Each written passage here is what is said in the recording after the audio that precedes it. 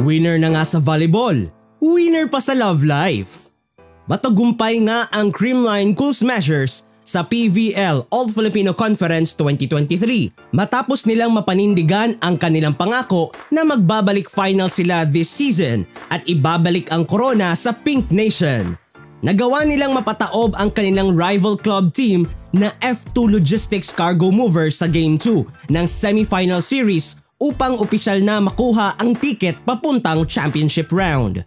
Isa sa naging bala ng Creamline sa panalong iyon ay ang kanilang flawless offensive plays na talagang pinarusahan ang floor defense ng F2 Logistics. Ikaw ba naman may Gia Morado de Guzman? Sure na mahihirapan ang kalaban sa kanya mga creative and crafty plays. Subalit, huwag nating ibigay lahat ang credits kay Gia Morado de Guzman dahil sabi nga nila, a good play starts with a good reception. And in order to sustain the play, you need a solid digging and coverage. Siya ang isa sa mga key players ng Creamline, kaya naman nakapunta sila sa kung saan sila ngayon. Ang tinutukoy ko ay kanilang always reliable libero, Kayla Atienza. Naging impressive nga ang naging performance ni Atienza sa kanilang huling laro sa semis kontra F2 Logistics.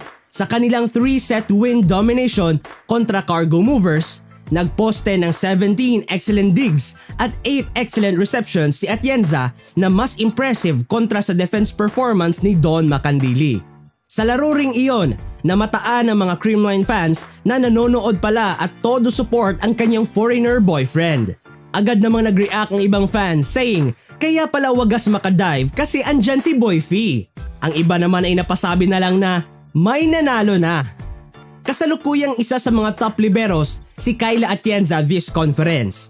At the end of the elimination round, nagtapos bilang 5th best digger si Atienza having 3.79 average digs per set. Kaya sa mga volleyball players dyan, baka mas gagaling pa kayo if may love life kayo. Echos lang. So ayun na, baka may gusto pa kayong ikoda, comment your thoughts below lang. Again, Don't forget to subscribe and click the notification bell. This is Papa Jim Voice saying thank you and see you on our next video. Bye-bye!